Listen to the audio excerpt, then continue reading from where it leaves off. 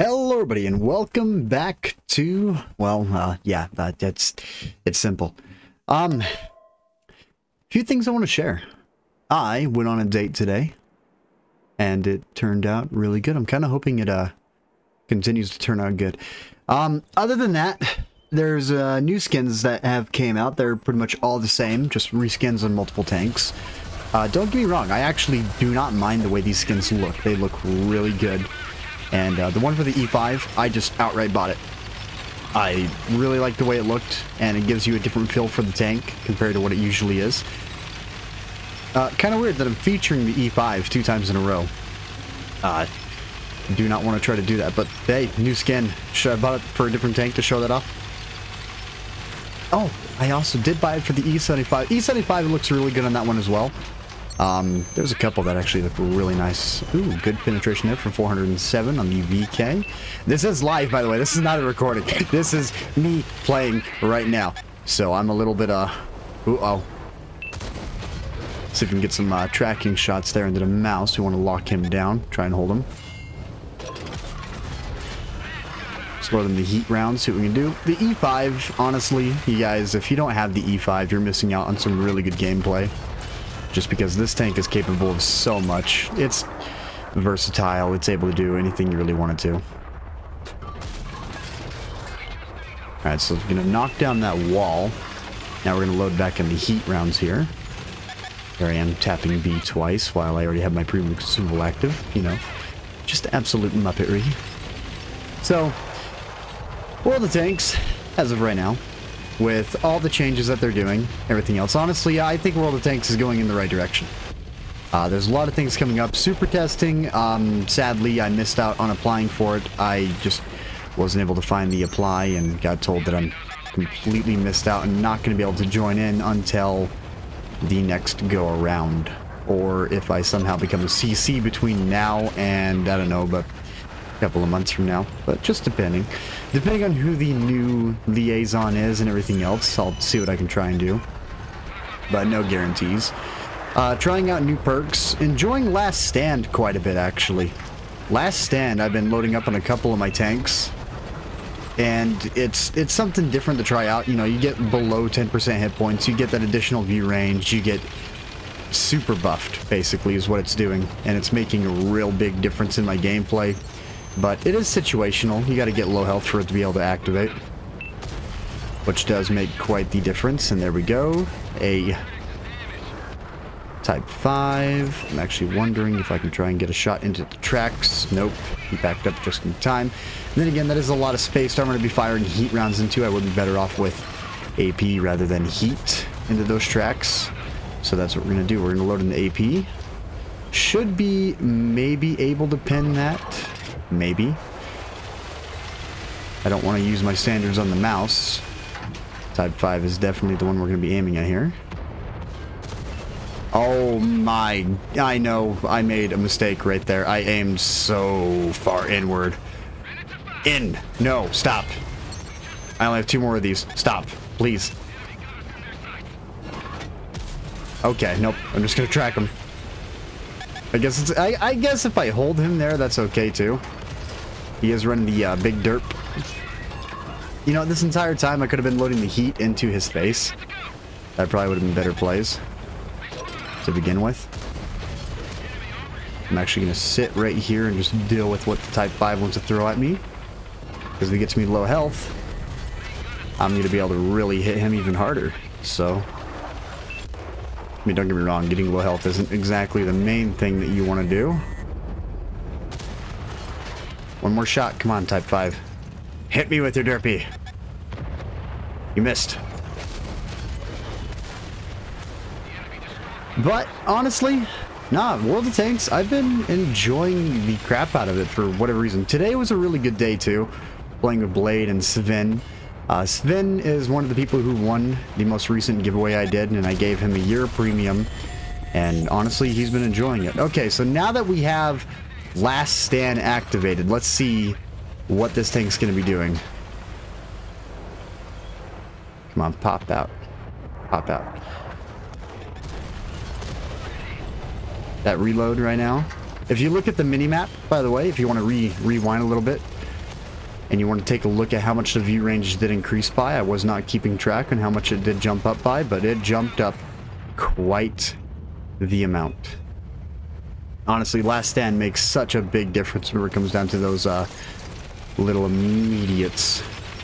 I mean, just look at the way the tank's acting right now. It's acting really, really fast. Those perk increases with Last Stand, getting that active, it just, I feel like everything just takes a massive leap and it goes crazy. Okay? And it, it's really weird because originally I was running rapid aim, which increases my dispersion. Well, not my dispersion. It increases turret rotation, gun rotation. Had a couple of really nice blocks like that. Uh, 420 silver. that, that That's kind of funny, not gonna lie. But with the dispersion, not dispersion, with a uh, rapid aim, you, it's just faster response times. You're able to block your hatch if you need to block your hatch with your gun, and it makes a huge difference. But with Last Stand, I find it to be extremely viable on light tanks and medium tanks. Uh, heavy tanks, I'm right now testing it on it to see how well it works. But I can say the second you are below that threshold of 10%, the performance of your tank just skyrockets through the roof, and the difference is tremendous. So yeah, if you guys want to give it a try and run Last Stand, light tanks, it is definitely beneficial to have on because of the view range increase you get whenever you get low health. And just the reload increase, everything increasing. It makes such a big difference having it on. Now, I don't know what to talk about. I, I'm just in such a great mood today. I went on a date really good. It went extremely well. Uh, she's a substitute teacher. And, uh, yeah, I'm kind of, you know, my hopes are high. It's been a few years since I've been on a date, so hopes are, you know, the hopes are high. But, you know, kind of using my channel like a blog by this point. I'm just talking about daily things, small things to update you guys on. Yeah, I'm just I, I, I don't know how to explain it. I'm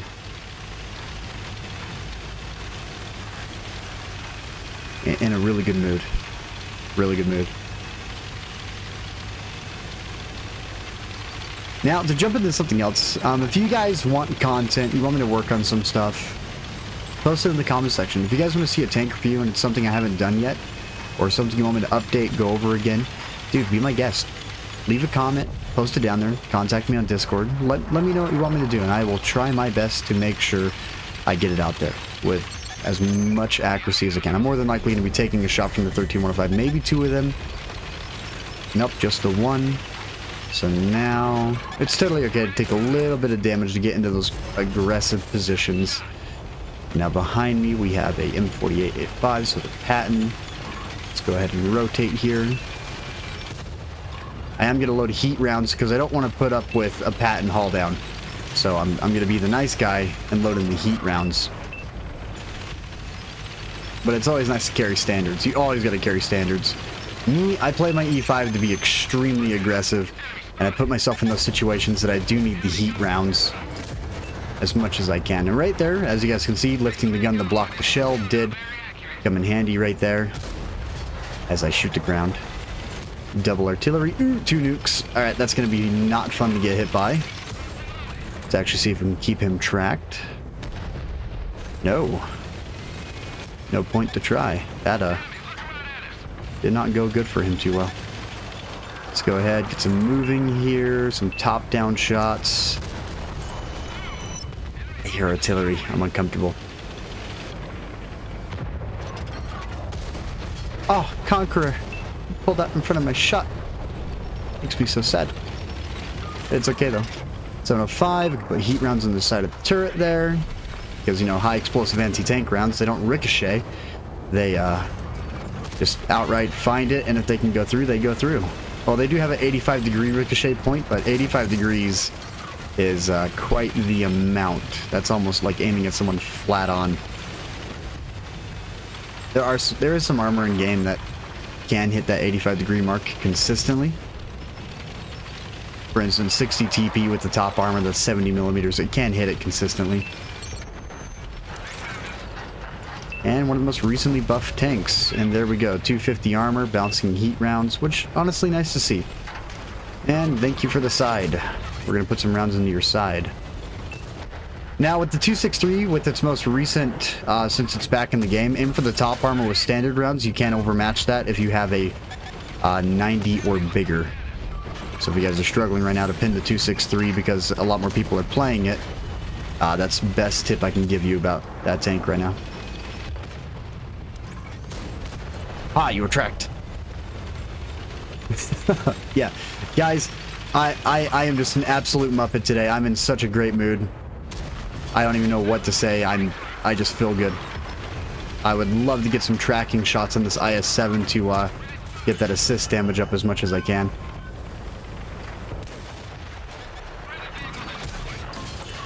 Gonna load in those HE rounds to keep them tracked.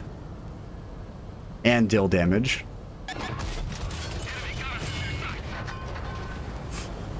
Because all I want to do is just keep them tracked.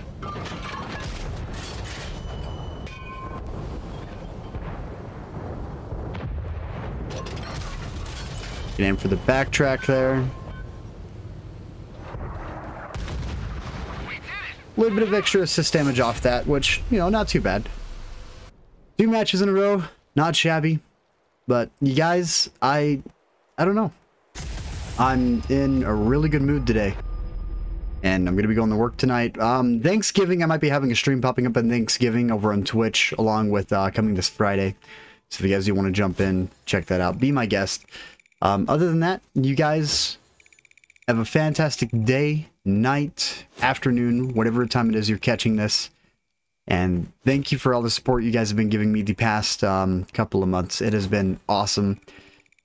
And yeah, I'm just ready. I'm ready. I'm going to be working on a couple of things. I have a couple of requests that I'm working on right now. Uh, for instance, I think the next tank you guys might be seeing pop up as a review might be the Object 260. I am working on that tank a little bit, but artillery has not been kind to me. Artillery has been very mean to me.